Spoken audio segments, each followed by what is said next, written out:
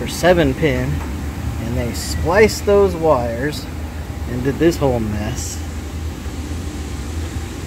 There we go. Did this whole mess to put a four pin in it. And all they had to do was buy this. It's a $20 part. And it plugs into the bumper standard. And look at that. It's got four pin. And seven pin. So I'm undoing this mess and fixing it.